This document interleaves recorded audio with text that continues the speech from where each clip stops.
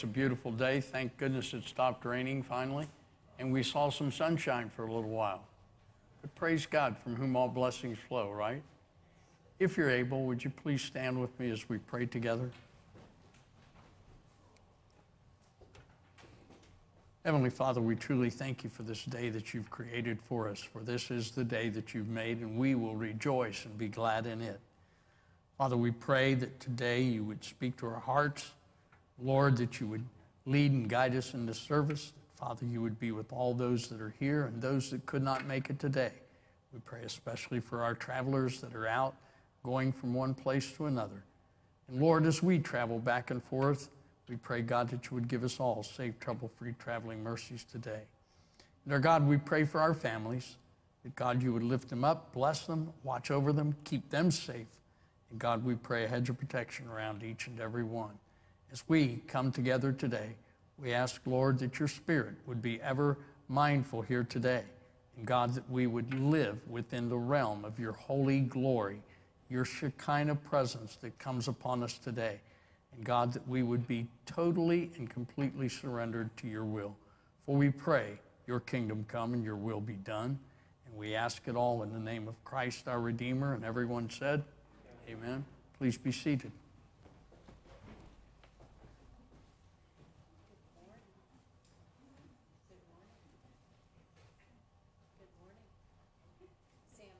It's not on. Oh, there we go.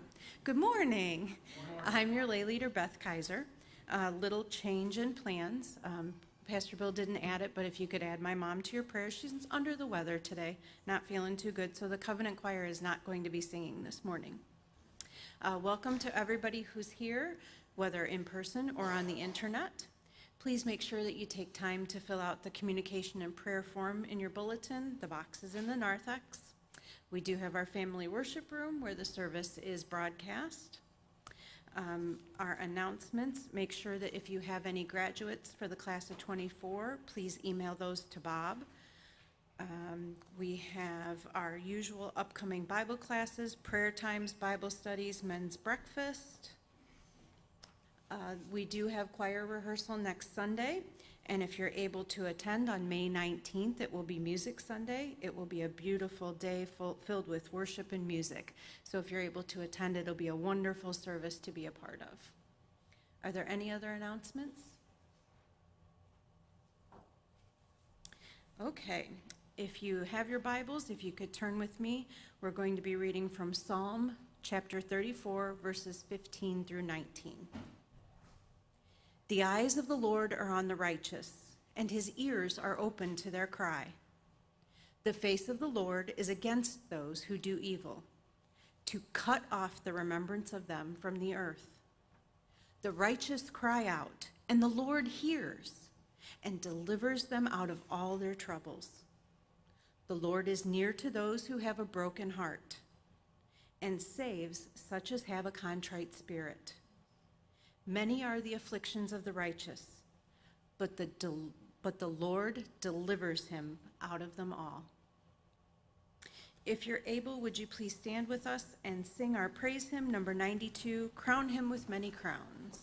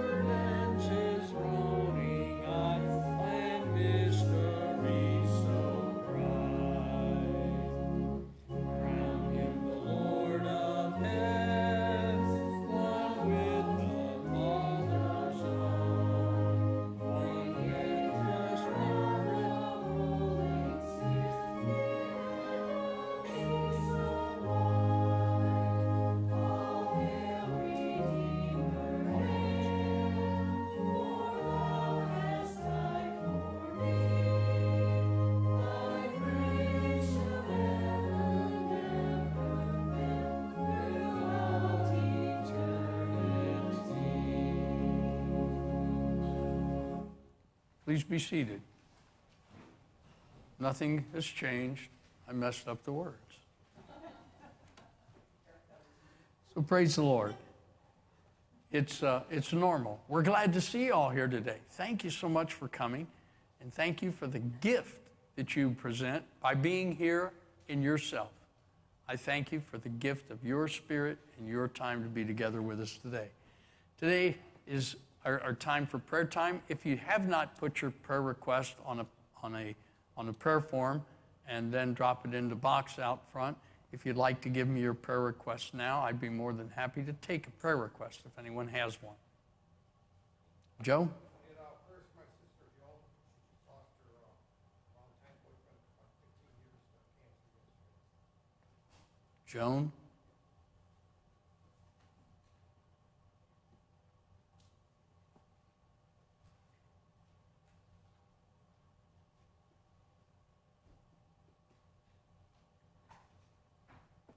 Any others?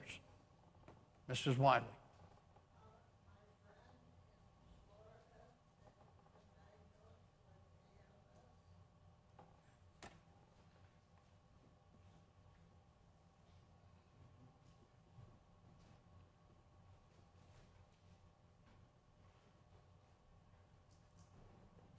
Sam?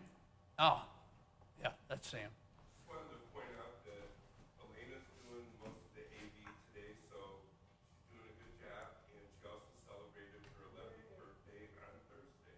Praise the Lord. Happy birthday to you.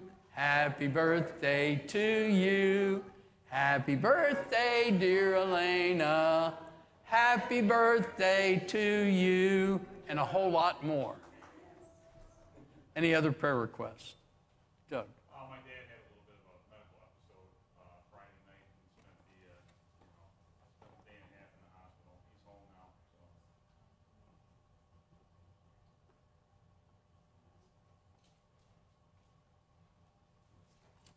Okay.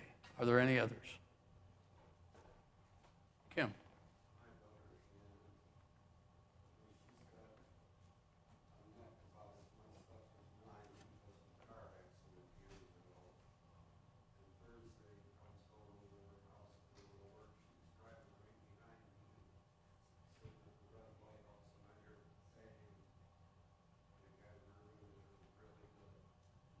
Are there any others? Let- Judy. I was just thinking about the graduates, all the hard work they put to get through four or five years of college or high school or whatever. I just think they deserve a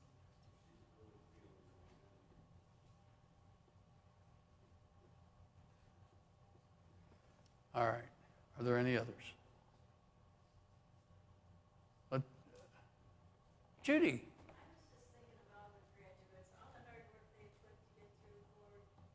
and praise. They have, uh, finished their. We'll pray for them. From kindergarten to PhD. Any others? Let's go to prayer. Father, today I want to thank you for the opportunity to stand where I am and do what I do for the glory of your kingdom. And I want to thank you for this family here at Plymouth. And God, as we pray together today, we not just the requests that we have here, but I want to pray for everyone in this sanctuary and everyone who's joining us, whether it's Facebook, YouTube, Twitter, LinkedIn, however we, they come. That God, today would be a great day, a great day for us to know and experience the peace that you have for us. And God, in the midst of all that goes on in our world, we today can be assured of the peace that passes all understanding. And Father, we lift up to you Joan, who's lost a long time best friend, boyfriend. We pray, God, for her comfort. Lord, the comfort of all those involved. For Father, you lead us through the valley of grief, not to leave us in it. And Father, as you hold our hands, we pray that you hold Joan's hand and bring her through with peace and comfort. Father, we pray for uh, Mrs. Wiley's friend in Florida that's been diagnosed with ALS. Lord, I pray that by the power of your word, for your word tells us that you're the God that healeth all of our diseases. Your word tells us that we're healed by the stripes of Jesus. Your word tells us that you give us doctors to use. And Lord, we pray that you bless their wisdom and their knowledge to help this friend of Mrs. Wiley's come through this diagnosis of ALS. Father, we pray for Doug's dad. Lord, we pray that all the medical issues that he's had will be resolved, and God, that you will be bringing health and healing to him today. And Lord, as he convalesces and recovers from all that went on this week, we pray, God, that your hand would be upon Doug's dad and bringing healing to him. We pray for Shannon. Lord, as all the problems she's had with her neck, now she gets hit again. And Father, we pray that by the presence of your word and your spirit, that God, you would touch and heal her. And Father, we pray that you would give doctors all the people that will be comforting her and taking care of her wisdom and, and knowledge to, to bring this healing about. And Lord, we pray for our graduates. Lord, I know that we may be early a day or two, but God, the work that's taken for them to graduate, to get through uh, preschool, kindergarten, uh, up through high school, college, Lord, it's something. It's, a, it's a, a landmark day for each and every one. And Father, I remember as I was a kid, I was just glad to get my grade card with the, on the bottom of it, it said promoted. So, God, I pray that today you would be blessing all those who excel and those who are getting by. And God, that you would bless them with the encouragement that it can be done. For Father, I see what you've done in my life, and I pray that you do in others great things, whether they know they're great things yet or not. We pray this all in the mighty, in the holy name of Jesus. Everyone said, Amen. Praise the Lord.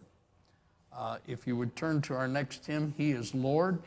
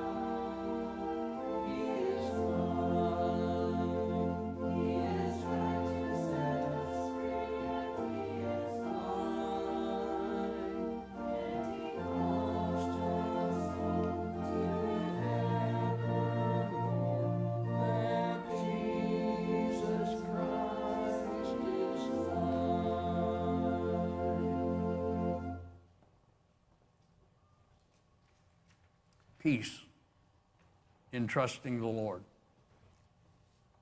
As you heard this scripture reading for this morning from Psalm 34, verses 15 through 19, today what I'd like to do is I'd like to look at verse 18 very carefully.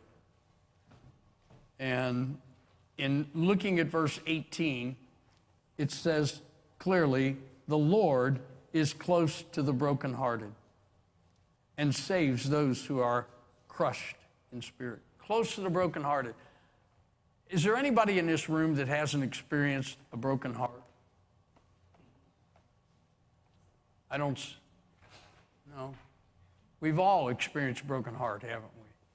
Whether it was in the fifth grade with our girlfriend or boyfriend. Uh, I told this story before, but uh, when I was, I think, in, in about the fifth grade, I had saved all my money from the summertime up to Christmas, and it was all for Christmas presents, right? And I saved for Christmas presents, and it was always tradition. Mom would take us, me and my brother, shopping. Well, my brother wasn't born. Yeah, he was.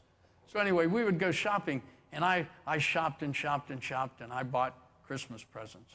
I bought one Christmas present with all my money, and I bought it for a girlfriend of mine.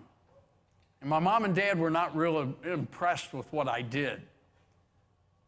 So I, I, I asked mom, I, mom, mom even wrapped it for me, and I said, Would you take me over to Sharon's house? Her name was Sharon Colley. And so I get over there, and it's kind of dark, and I knock on the door, and she comes to the door, and, and I said, Hi, here, this is for you. And she said, Thank you, and closed the door. My heart was broken then, but not until I got to school after uh, Christmas break was over with. And she, she said, Oh, thank you so much for the present. My boyfriend and I really liked it.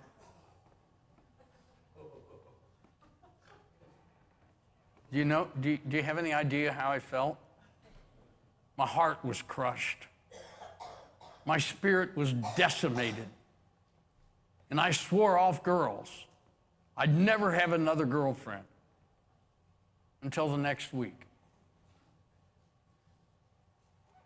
But we all have broken hearts over many things. If you look back over your life, there are probably things that could break your heart right now. But even in our deepest moments of pain and despair, God is still with us. You know, I, I know that there are times when, when I felt so, so alone and so filled with anger, anxiety, fear, and despair that I couldn't go another step. But I had to remember that despite all the challenges we face, that God's love and faithfulness endure forever. When I was a kid, I didn't know what it said in Lamentations. It is faithfulness is new every morning. His mercy is new every morning. I didn't know that then. And I carried around grudges and anger. And let me tell you, grudges are terrible to carry around because you're supposed to put your car in them. You're not supposed to carry them around. I hear some of you are listening. But the psalm offers it to us comfort to those who are experiencing or have experienced distress or heartache. Listen to the psalm again. The eyes of the Lord are on the righteous, and his ears are attentive to the cry, to their cry. But the face of the Lord is against all those who do evil, to blot out their name from the earth.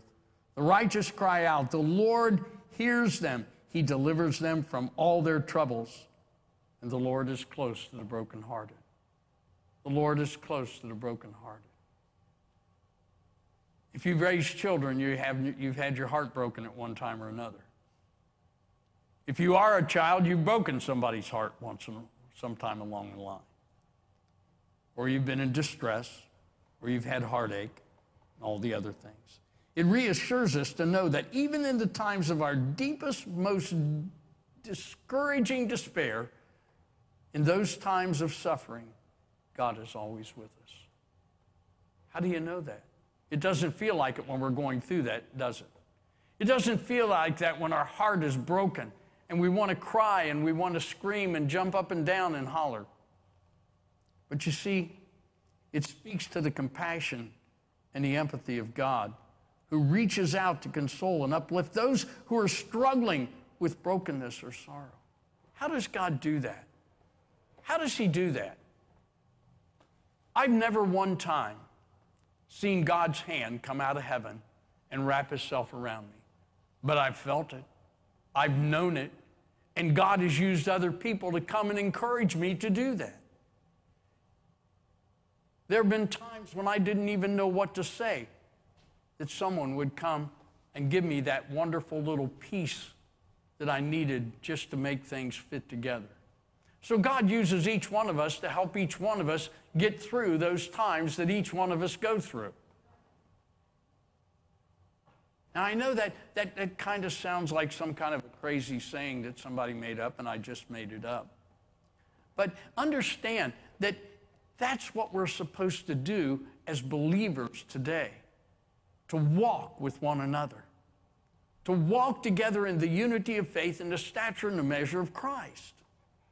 You see, God's faithfulness is always there in the times of trials. What about uncertain times? Now, I don't know if you've ever lived in uncertain times before, but we're living in them today.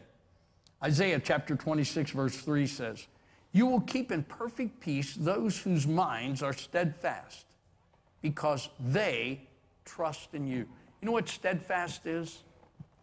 Let, let me, let me change that word just a little bit. You will keep in perfect peace those whose minds are focused on you, God, because you hear their prayers and because you love them and because with their brokenness, you will get them through because we trust in you. You've heard me for years talk about the word trust in place of believe. It's the same word in Greek. Trust and believe are interchangeable. Every time you read the word believe, it could be trust. Every time you read the word trust, you could put believe in there. It's, it's the Greek word called pistos. And it means put your hand in the hand of the man that calmed the sea and ask him to hold on to you. Don't hold on to God. Now, Stella and I used to sing this song, Hold to God's Unchanging Hand. We used to sing it all the time. But you know what happens when you hold on to God's hand? When you get tired, you can let go. But when you get tired and He's holding on to your hand, He never lets go. He holds you up during the times that you cannot see. He holds you up when you walk through the valleys of the shadow of death. He holds you up when everything in your life goes south and you're going north. He holds you up. I have a lady that I'm praying for. Over 20 years of ministry and marriage, her marriage just dissolved one day. The ministry, everything just gone away. I don't understand how that happens. Because when her and I went to the altar, we stood before God and all the people and we pledged our faith each to the other. When, when we did that, I didn't know what that meant. I didn't know what that meant until I met Jesus Christ. I was in love with her. She was younger than I was, and I was just excited that this gorgeous woman that was a homecoming attendant, and she had everything that I wanted. But I didn't know it until we'd been married a while and almost threw our marriage away. But God brought us through. Why? Because He held on to us. Because we were trusting Him. She trusted Him more than I did until after I got saved, because I want to tell you, when she was trusting, I wasn't very trustworthy. But I'm grateful that she did, because I'm here today. You see, God will keep us in perfect peace, those whose minds are focused on Him because they trust Him.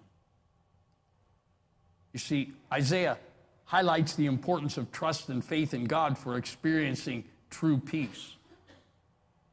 I think I, I, I may have shared this once before, but uh, in doing research over the years, uh, I researched peace, world peace. 5,000 years. 5,000 years of recorded history.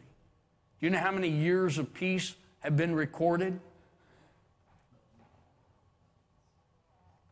Not 600, not 60, not 6,000. Six years of recorded peace in this world where there was no fighting going on, where there's nothing going on. Why? Because there was a place called the Garden of Eden and man fell. Man inherited the nature to sin. Now, does that mean we're all bad? No, that doesn't mean anybody's bad. That means we have the nature to do what's wrong. We have that nature. But you see, if we focus on God and we focus on true peace, it emphasizes the connection between keeping steadfast focus on God and experience the profound sense of tranquility. Now, think about this. If we focus on God and all this stuff's going on around us, where's the peace? Remember the kids' song?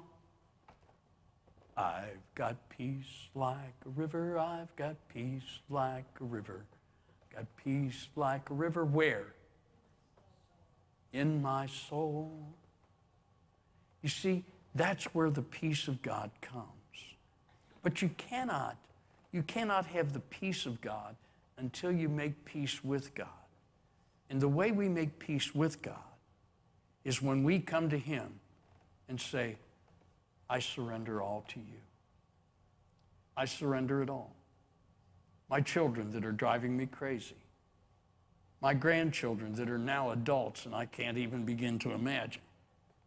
The fact that we are in this thing called life, and life happens to every one of us.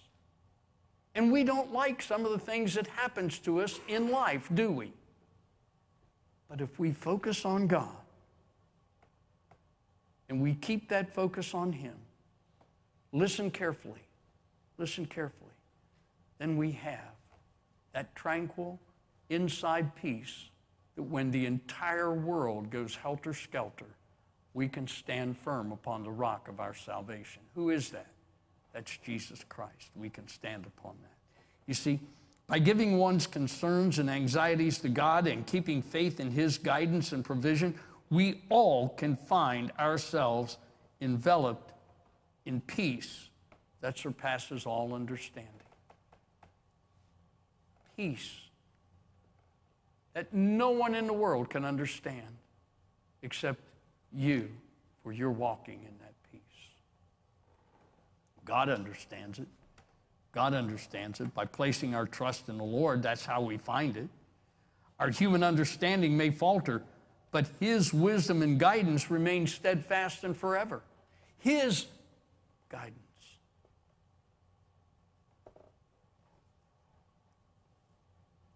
How can we trust God?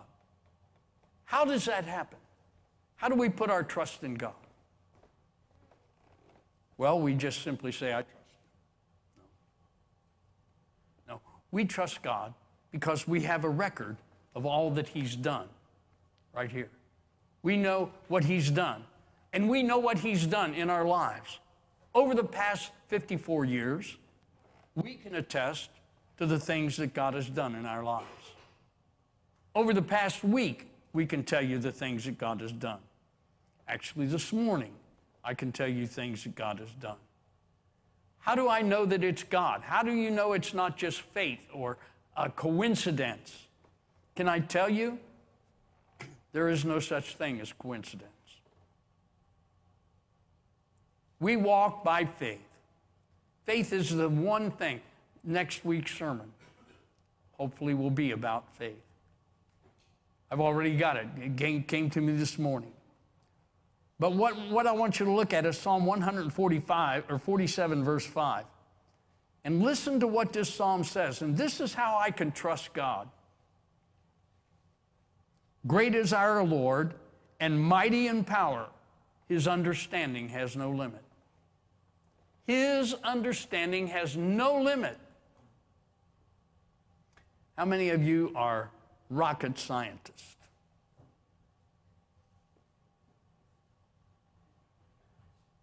Sally's a rocket science. How many of you can understand quantum physics? I can't understand physics. It's tough for me to understand algebra 2. It's really hard for me to understand geometry or algebra. I'm lucky to add 2 and 2 and get 4. Stella can tell you when I had the checkbook, it was just so messed up because I'm dyslexic. Instead of 69, I'd write 96. You ever done that in your checkbook before? And then you have to go and figure out how to fix it. But you see, I turned all that over to her. I turn all my heavy things over to her and God. I just do the light stuff, pray and write sermons and do things that I'm supposed to be doing. Think about this. Think about this. Why do you trust God today? I trust God because of His sovereignty. This psalm celebrates the greatness and the power of God. It emphasizes God's understanding and mm. boundless and infinite wisdom and understanding. Remember, I said there's no coincidences? You're here not by a coincidence, but by divine appointment.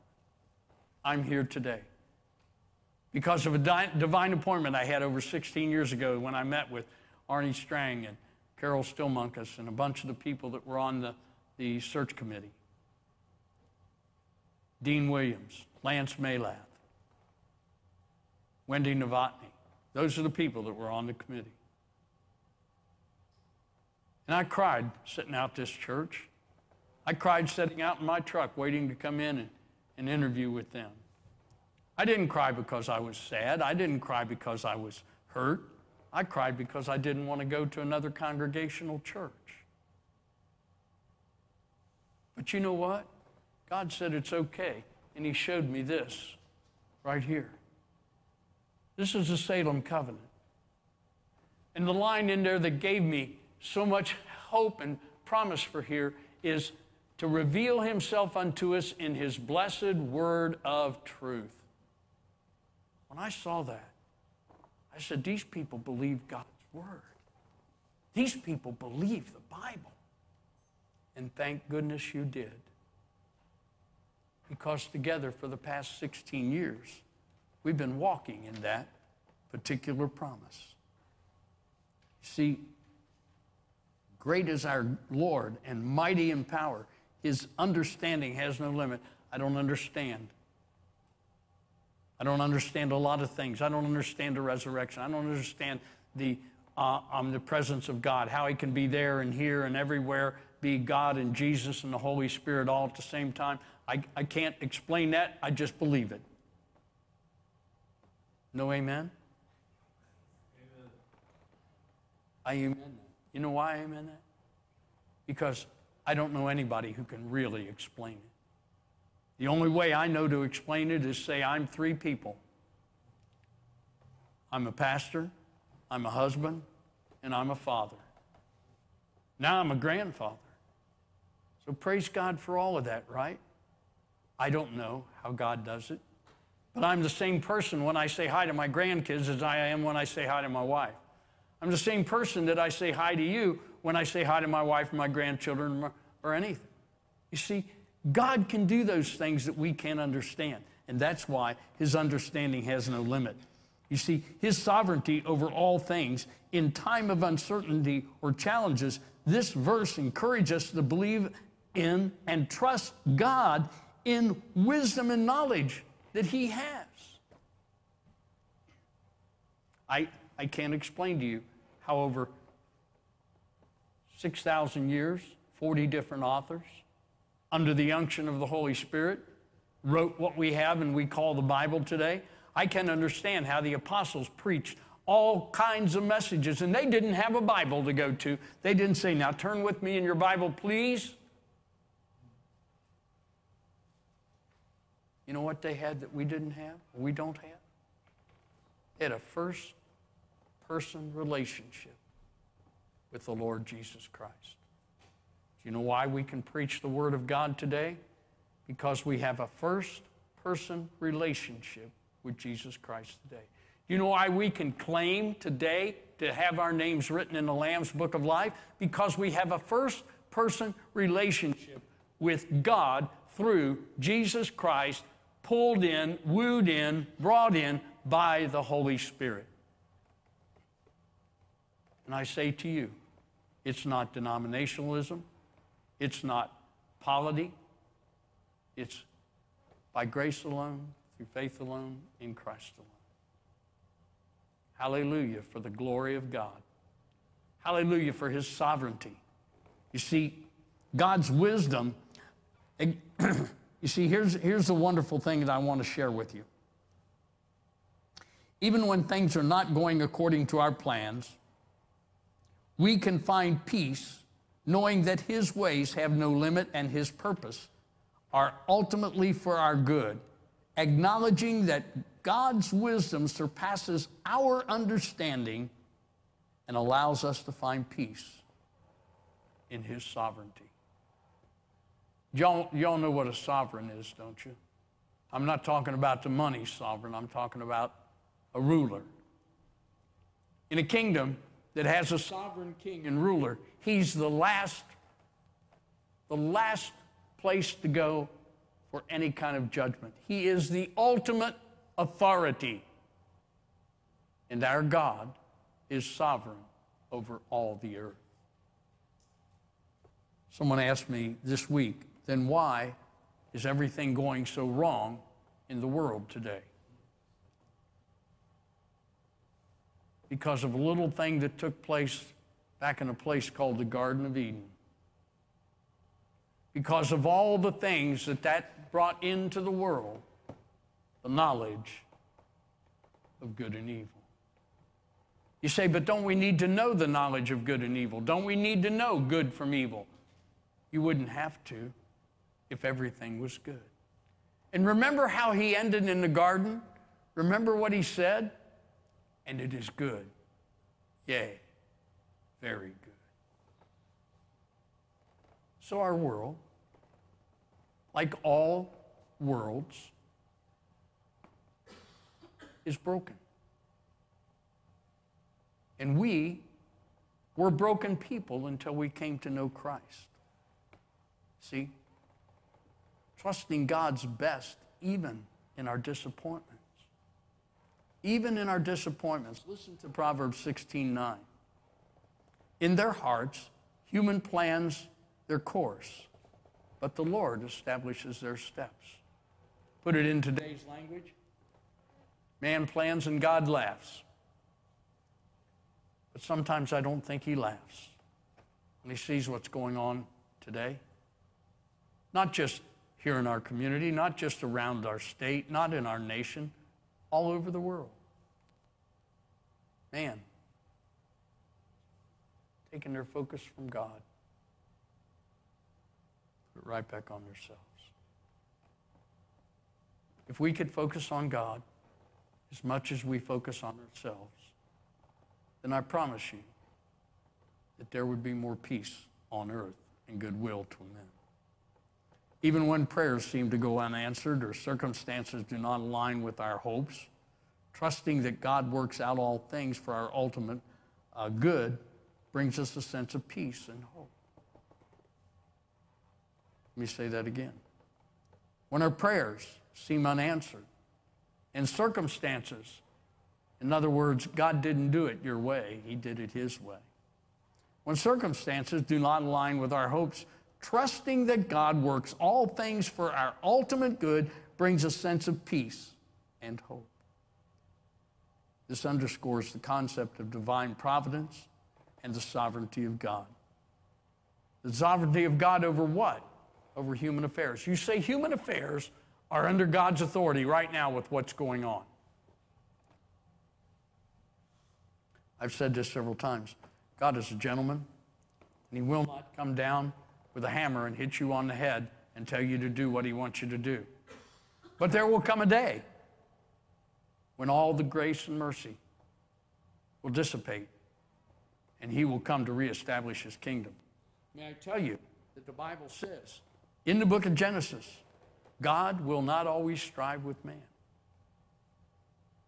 In a different translation, it says, God's grace will not always be applied to man. When will that happen? When man's dug the grave so deep that there's no way out. See, this is the thing. It acknowledges that while we may make plans and decisions, ultimately it is God who directs our, the course of our lives.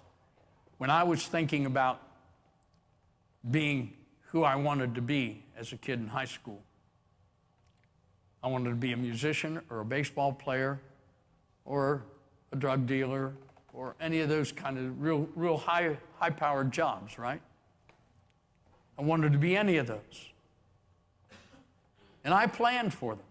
I planned on an apartment with a music studio in it in New York City, right next to Music Hall, so I could be friends with Leonard Bernstein.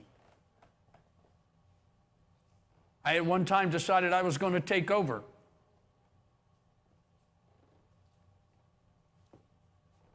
Maynard Ferguson's band because I was going to be better than him.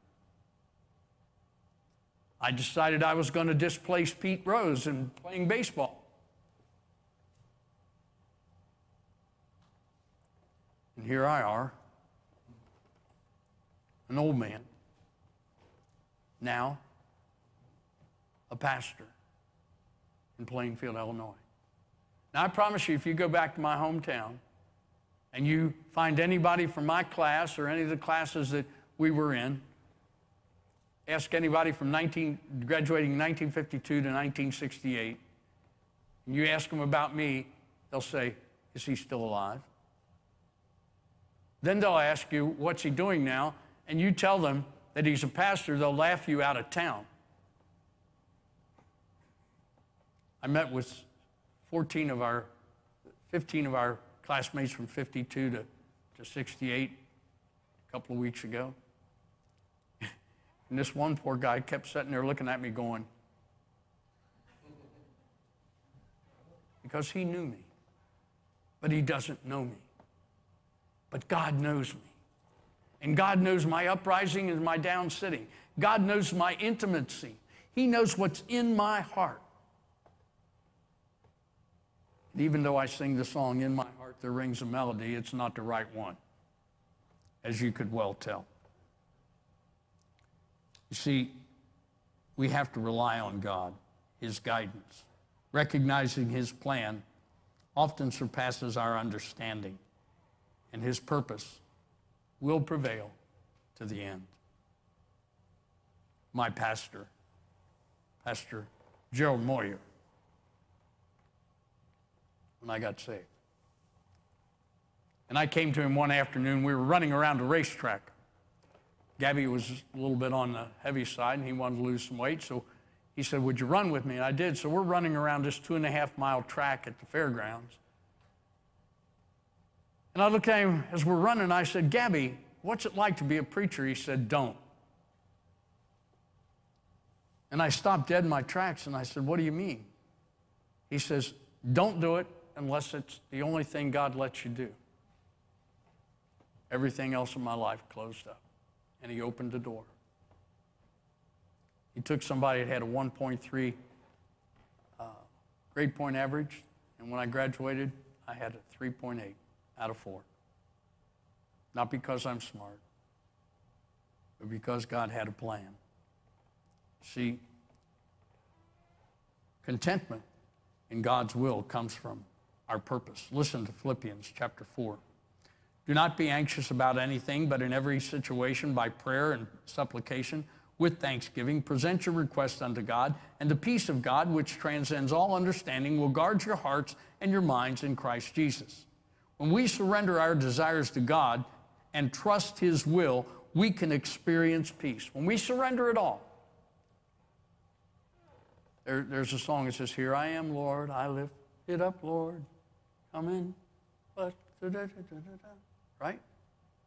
Then we sing the song, I Surrender All. You know what we're surrendering? When you surrender all, it's not part, it's not a slice, it's not the whole pie except the slice, and you keep that little part separate. It's all. When I gave my life to, to full time ministry, it was quite evident that God wanted all the rooms of my heart. And it was hard to open up some of those doors for him. But that's what it means to surrender all. Lay it all on, on, on him. When we surrender our desires to God and trust in his will, we can experience peace. That surpasses all understanding. All anxiety and worry can be gone.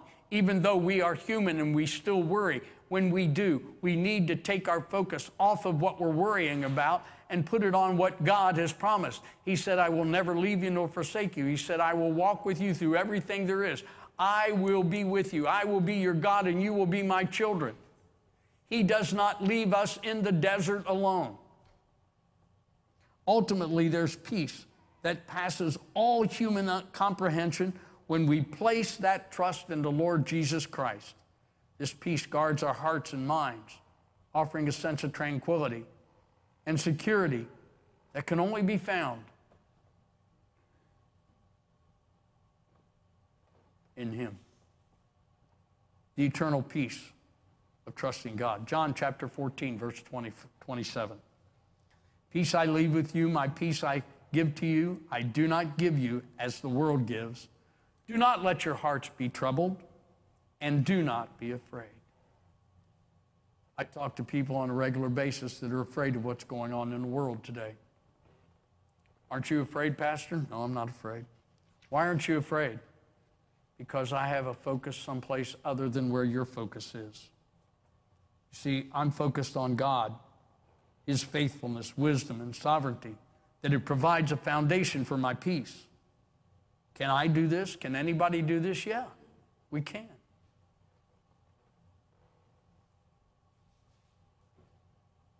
It's like being on a diet. If you're on a diet, you want to lose weight, you follow the plan, correct?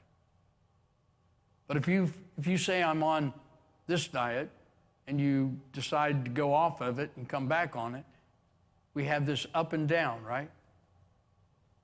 Faith is the same way. It's the steady diet of faith. It's the steady diet of things we cannot see, but God has made them the substance that we believe in. You see, faith in Jesus Christ transcends even the peace that the world offers. You know, you know the peace that the world offers, don't you? Let me have everything and I'll give you what you need. Can I tell you what I need? I need a closer walk with Jesus. That's our closing. I. Jesus exhorts his followers not to succumb to fear or distress or doubt, but to find comfort and courage in the peace that he imparts. How do we get that peace again? We get that peace by our focus. What's your focus on? Is your focus on all the problems? Or is your focus on God? All these verses that I've given to you, you have them in your bulletin. Collectively offer profound insights into finding comfort, peace, and guidance through the faith of God. Accepting His sovereignty, compassion, and provision in all circumstances. True and lasting peace is only found in Christ. His peace surpasses anything that the world can offer. By placing our trust in Him, we can experience a peace that goes beyond all of our comprehension. I want to give you one verse John 14, 1. Let not your heart be troubled. You believe in God. Believe also in me. If you will take that one verse and make that your mantra, whatever that means. Make that your go to verse. Make that what your mind focuses on for the next week. I will not be troubled. I will not be moved. I will only focus on this truth. You said, Let not my heart be troubled. I believe. I trust in you. Pray with me, please. Father, I ask you today that you would speak to our hearts. That God, through this simple message, that Father, your Holy Spirit would not only speak to us, bring us to the place where our focus is blinded from everything except you. I don't want to hide my head in the sand. I want to hide my vision in you. For Father, you said that if we dwell in a secret place, your secret place, we shall abide under your shadow. So keep our focus on you and bless us today as we surrender all and look for just a closer walk with you. Pray this in Jesus' name. And all God's children said, Amen. If you're able, would you stand with me as we sing our closing hymn?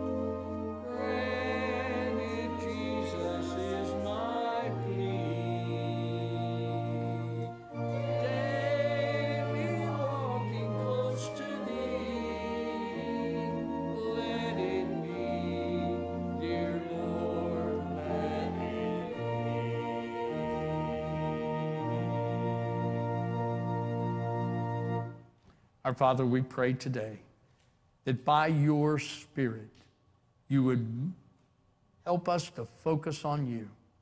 And God, that each and every moment of each and every day, we would find something to remind us to focus on you.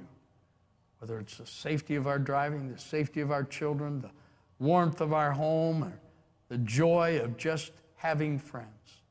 God, whatever there is, we pray that you use all of those circumstances to overshadow all of our circumstances. That God, we would focus ourselves on you in order that we may endure, in, enjoy peace that surpasses all understanding.